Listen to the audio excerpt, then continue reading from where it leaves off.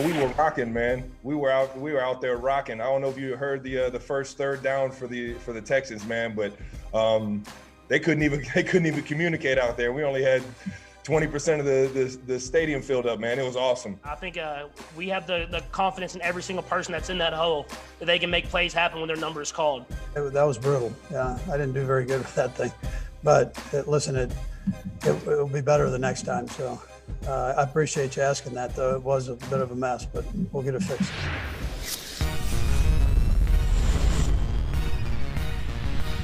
Football is back, and last night's game looked a lot like a normal football game, depending upon what camera angles you saw.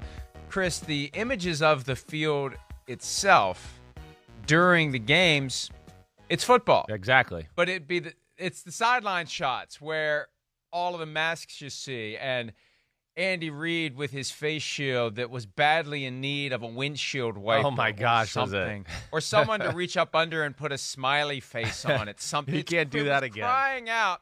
It was crying out for someone to just, just, just the mouth yeah, they, and two dots. That's it. That's all it needed. Can they get a windshield wiper on that? They don't have one of those shields with like a mechanical windshield wiper on that. But I, I, I felt for him I mean, it was humid and rainy and whatever else, and he's sitting there trying to look at the game on the field and look at his play sheet and do all that. He couldn't see crap out there. So, yeah, he's going to have to reassess that plan. And I think uh, now, Travis Kelce should reassess his plan for a coat. I'm not sure if I like that. Yeah, I'm not, not quite sure what that was, but but you know what? I'll agree with Travis Kelce. The game sounded like any other game. It did, and 16,000 fans in the stands can create noise that is similar, not nearly as deafening as a full stadium, but it, it did sound normal and it looked normal as long as the shots were only of the field. It looked like the second half of a preseason game whenever we would see the crowd, because that's the thing. I think some people thought, okay, there's 16,000, they're all going to be in the lower bowl. No, in order to properly distance, you've got 16,000 everywhere throughout the stadium. It just looks like a very sparse crowd. Yeah, no, it does. It's uh it's an odd look. There's no doubt about that. The Chiefs fans though, as we expected, uh they made it sound like there was twice as many people in the stadium. But it, it, overall, you know, even though it was you're right, certain camera angles, the crowd noise, it all seemed normal, but it still wasn't. There was something missing a little bit like you know, it's still weird to, like you said, see the crowd, see that. I felt like the players early on were, you know, trying to figure out their emotions in the moment too. You know, of course, we had all the pregame stuff and all that, but I bet it was weird for them to run out on a stadium and be like, you know, whether you're used to getting booed or getting the crowd going, you're going, wait, this is weird. This is just not the same environment. And I felt early on that kind of showed where they were kind of getting used to the environment, used to another team, of course. And uh, it's just a different way of football for right now. But like we've seen in the NBA and everything else, I think they'll grow accustomed to it and we won't miss a beat. And the thing is, some games with fans in the stands, most games with none in the stands, so it's going to be a different adjustment as you get used to if you're the Texans and Chiefs being in a stadium with 16,000. Next game, potentially zero, depending upon who plays where, but most of the games will be played without fans at all. And with that background noise that your friend Kyle Shanahan calls a form of human torture of 70 to 75 decibels that never modulates, that never turns off, that never changes. It's always there. Always, always, always. How there. is that? Why is that? I don't understand that. Like, we, we can we don't have anybody that can press a button or turn the volume down during a commercial break or at a dead moment of the game. That doesn't make sense to me. I, I, I don't know. I mean, I guess it's just is it just as easy as that? We'll leave it there. Don't mess with it, and they don't want to do that. I don't. I don't get that one.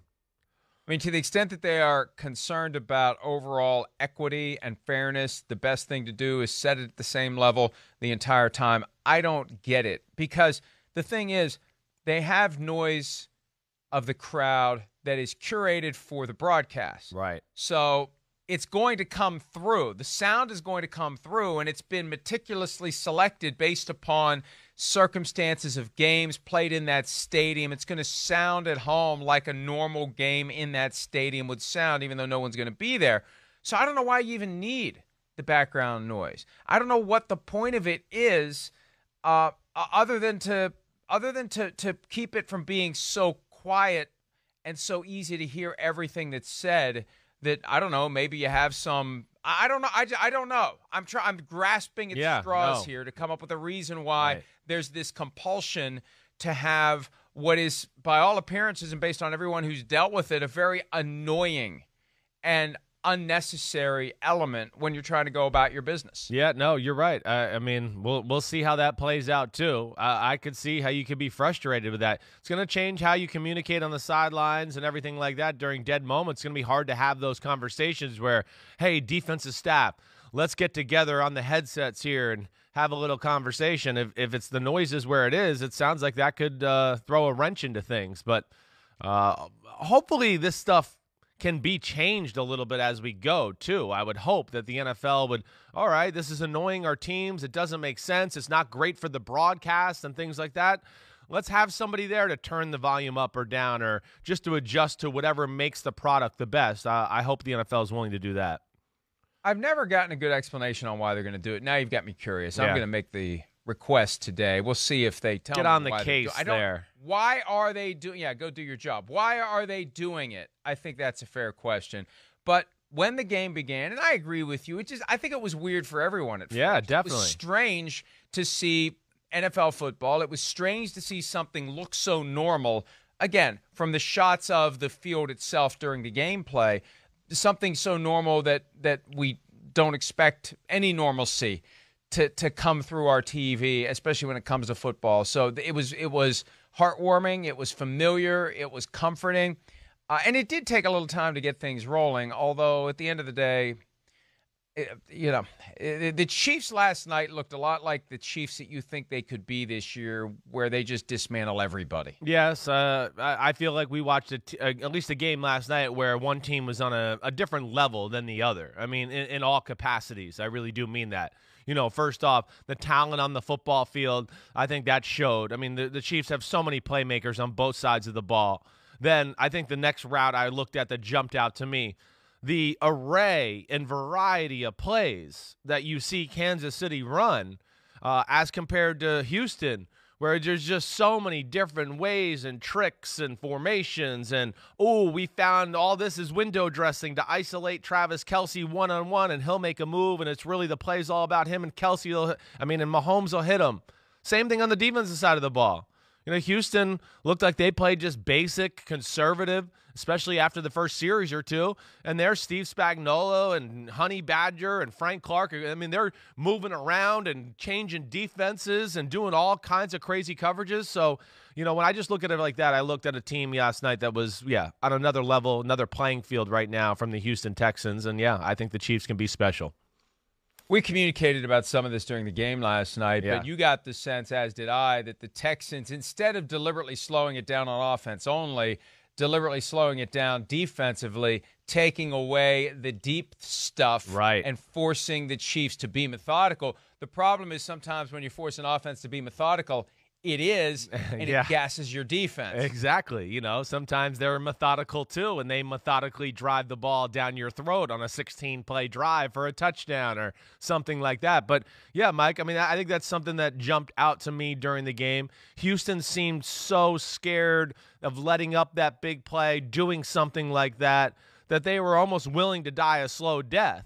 And I think ever since Mexico City last year, the Chiefs playing the Chargers out there, that was the the changing point for me for the Kansas City offense. I think that's when they realized, wait, we got to come up with more plays and more ways. If teams want to play these deep zones and take away all these deep shots, then we got to find ways to just expose them underneath. And I feel like their variety of offense and everything they have grew from that point to where you saw last night. Now with Clyde Edwards-Helaire and all the stuff Andy's figured out and drawn up in the sand and whatever else, that you're gonna have a hard time playing that approach against them too.